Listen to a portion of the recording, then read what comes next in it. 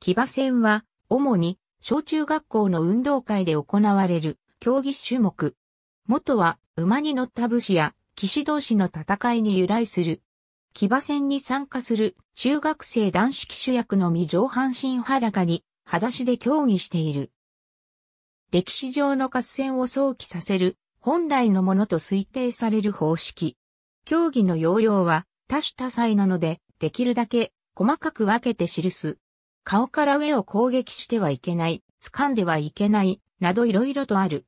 競技者の自主規制によって、競技の都度決められる。後者の場合でも前者が適用される。また、後者には牙にランク付けを行い規定の点数で勝敗を決める場合や、奪った帽子や鉢巻きの数で決める場合もある。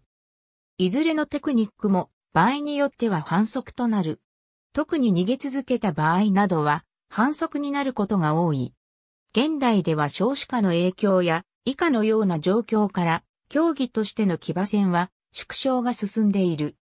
2003年9月、福岡県立筑前高等学校に在学していた男子学生が騎馬戦に騎手として出場。競技中に地面に落下、首を骨折したことによる下半身不随状態となり身体障害者手帳の交付を受け、剣を相手取って提訴。紅白に分かれ、人を牙と武将に見立てるところから、合戦がモチーフになっているのではないかと言われている。ありがとうございます。